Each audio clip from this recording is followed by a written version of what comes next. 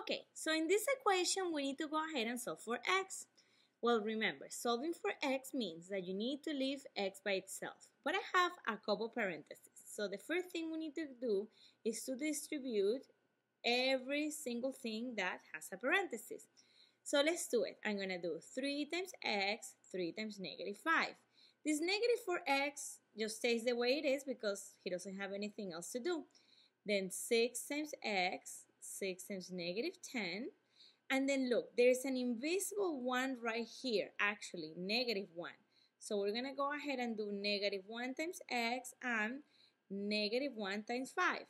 And I get in the first part, oops, there we go. so I get 3 times x is 3x. 3 times negative 5 is negative 15. Then I have negative 4. 6 times x is 6x.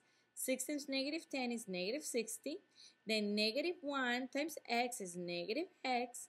And negative 1 times 5 is negative 5. Awesome. Now I need to group the ones on different sides. For example, I'm going to go ahead and group 3x with negative 4x. Well, 3x minus 4x is the same as negative 1x. This is like an invisible 1 again. Minus 15 stays the same. Now let's go ahead and mix. 6x minus 1x is 5x.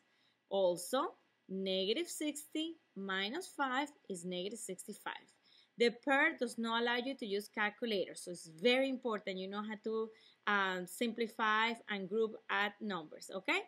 All right, now we don't have the x's on the same side, and the numbers need to go on the same side too. All right, this 5x needs to be moved to this size and this negative 15 is to be moved to this size. Remember, anytime I switch anything when I have an equation, I need to change the sign.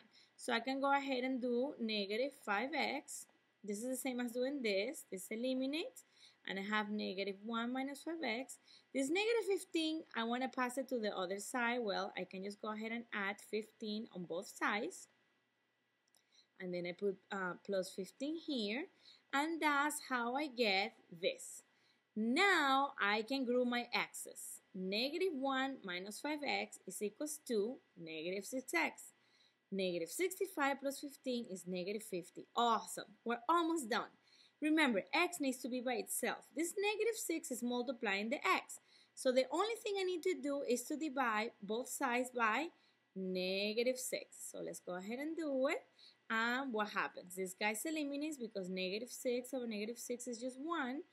Negative 50 over negative 6 is just going to give me 50 over 6. Remember, negative times a negative becomes a positive. However, I need to simplify my fraction. 50 and 6 are both divisible by 2, so I just divide uh, 50 by 2 is 25. I'm just simplifying the fraction. And 6 divided by 2 is just equals to 3. Awesome. My answer is going to be 25 over 3. And that's it. Da-da! Thanks for learning.